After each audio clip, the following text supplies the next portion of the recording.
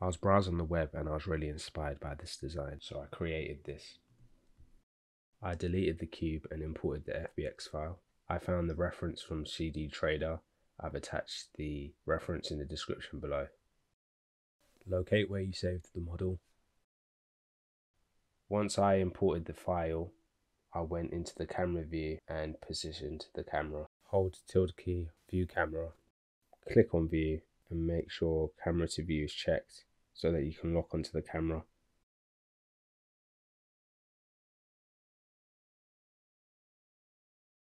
I selected the object and rotated it towards the side. I wanted it to be similar to the reference. Then I selected the light and deleted it from the scene. After that, I wanted to apply some textures onto the model, so I went to shading. With the object selected, I clicked on new. I went to roughness and changed that to zero. I moved the material output towards the right. Shift A and add in a mix shader. Link the mix shader together, relink the top shader to the bottom shader. Shift A and add in a emission. The emission is used to give the object light. Connect the emission to the shader. I'm going to change the color to blue. Change the hue to 0.605. Change the saturation to 0.974. Click on the render view in the top right corner. So right now it just looks like a silhouette. I'm going to increase the emission strength to 3.2. Go to render properties, make sure Eevee selected and click on bloom to get a glow effect. Shift A and add in a color ramp. Then connect the color to the factor. I need to apply two textures on top of the object. So I'm going to add a mix. Change float to color and then link it to the color ramp. I'm going to add in a texture now, Shift A, and add a wave texture. And then link that to A. You can play around with the scale, but I left it at 13.4. Change the distortion to 0.6, detail to 15. The values don't need to be the same, you can just play around to see what you like.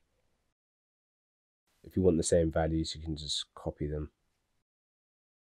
To avoid the texture from stretching, we need to apply a mapping shader and a texture coordinate.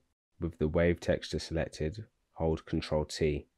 If that didn't work, go to Edit Preferences, Add-ons, and make sure Node Wrangler is checked. Add in the second texture, Shift A, add a Voronoi texture. Link the color to B. So change 3D to 4D so that the texture could be animated. Change F1 to F2. Euclidean to Minkowski. I'm going to change the W value to minus 20, the scale to minus 3.4. I'm going to zoom out, select everything from the mix shader onwards, shift A and add a brick texture. I'm using a brick texture to create glitching lines on top of the model.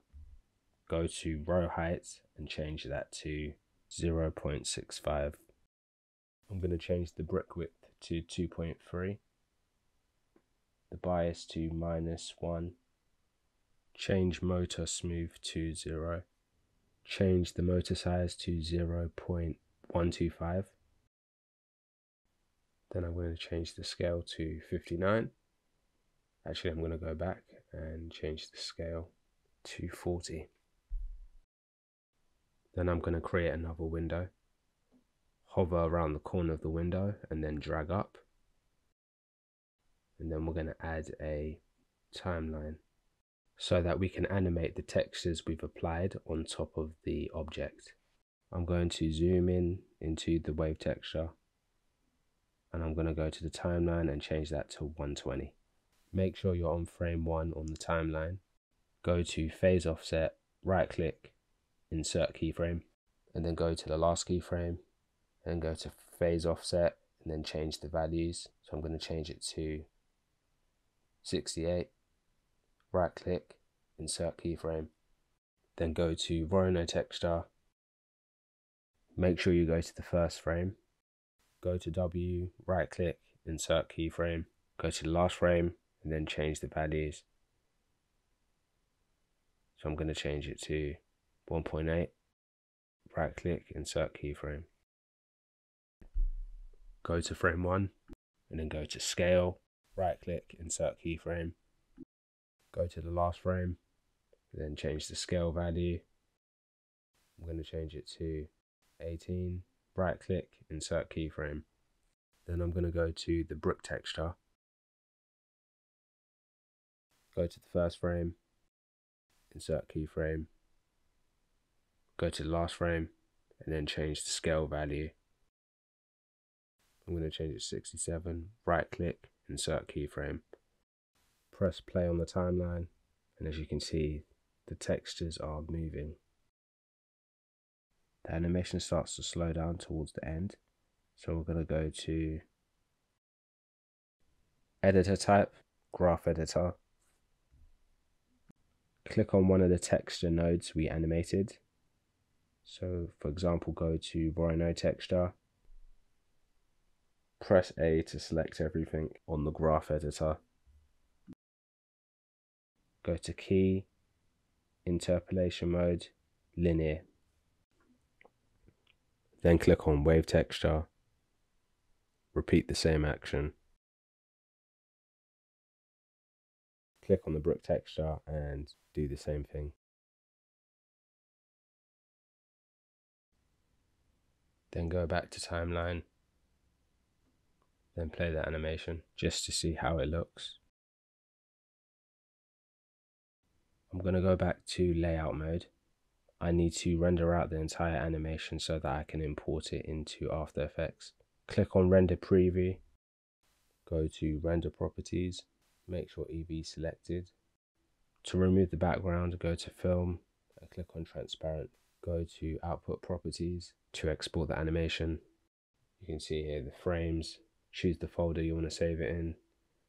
You can change the file format after everything's set up, go to render and then choose render animation.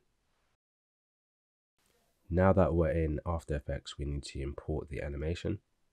So go to File, Import, File, click on the first frame, make sure PNG sequence is checked, open, and then drag that into the composition. Next thing I'm going to do is I'm going to apply an effect called signal and an effect called glitch. You have to buy these plugins, but I definitely do recommend it if you want to create a realistic glitch effect. I've attached the link in the description below. So as you can see, you get like a very old school feel from it. What I'm going to do is I'm going to actually add another signal effect to make it look even older. I'm going to leave all of the default settings. I'm also going to add in a JPEG glitch. So I'm going to drag this to the top, go to compression ratio and change that to 40. And as you can see, the quality starts to decrease, which is what we want to do to make the glitch effect look realistic. This is the final design. I'm going to go ahead and export it. Go to File, Export, Add to Render Queue click on the folder where you want to save it.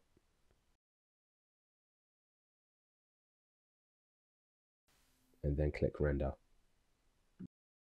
And this is the final outcome. Thank you guys for watching and I'll see you in the next video.